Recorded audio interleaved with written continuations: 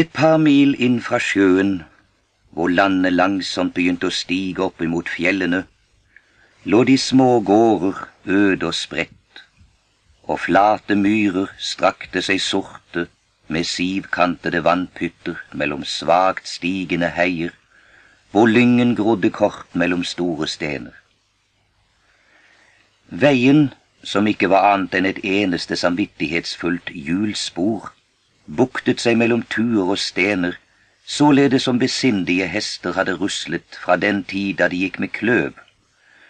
Og ingen hest, enn si noe menneske, hadde noensinne tenkt utenfor dette ene samvittighetsfulle spor. Nedover veien kom en høy, sterk bondegutt med lyserødt hår og fregner.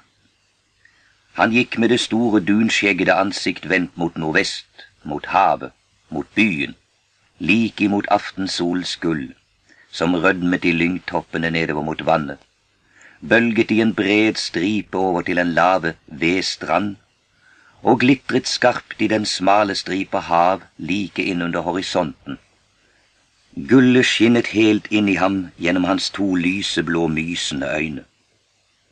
Og inni ham var alt gull han tenkte ikke på annet, så ikke annet.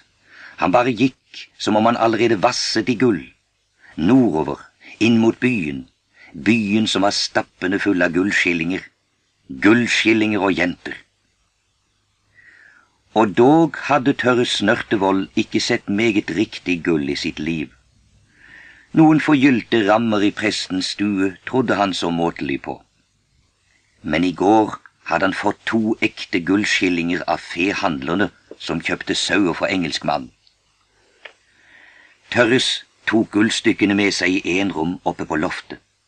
Han knuget dem i hånden, lot dem klinge forsiktig mot en spiker, luktet på dem og bet varsomt i kanten. Og hele natten hadde han dem hos seg i sengen, la dem under kinnet eller gned dem mot hinanden i halvsøvne for å høre om de var der begge. Den neste dag var han som omskapt. Han ville til byen straks, og alene. Han som alltid snakket om byen, men aldri hadde mot når de andre drog til marked. Han som alltid hadde spart til byreisen, men aldri hatt nok. Han var nu ferdig med en gang og ikke til å holde tilbake. Med alle sine penger fordelt i småtutter rundt om på kroppen gikk han nu nedover veien i ettermiddagssolen ned mot det store vann, hvor han ville finne seg en leilighet med båt til jernbanestasjonen på den annen side av vannet. Billettprisen til byen visste han. Den var overhendig. Men det var umulig å gå halvannen dag til fots, således som han nå lengtet.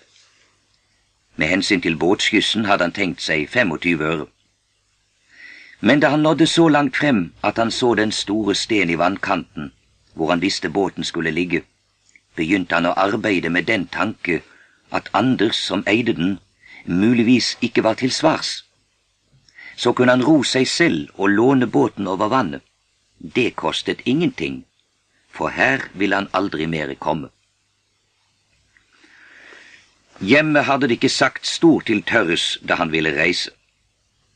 Han hadde alltid vært for seg selv og gitt lite akt på de andre.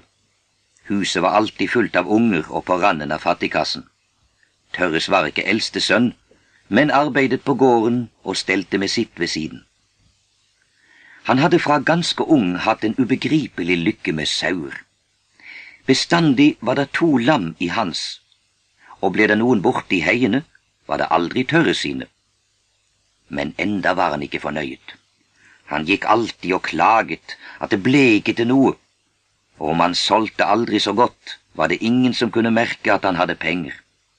Stille og muggen gikk han mellom de andre og ble langsomt voksen. Men som han nu dro nedover de siste bakker i den gyllene sol, med vannspeilet blinkende foran seg, svulmet en ny og ukjent følelse av makt og velde opp i den unge bondegutt. Han hadde hverken bylt eller stav, men han måtte ha noe i hendene, og så tok to runde stener i et bekkeleie, en i hver hånd. Dem gikk han og slo mot hinanden så hardt han kunne, og sang til. Gull og jenter, jenter og gull. Han sang høyt og trampet til, skjønt han ikke kunne synge.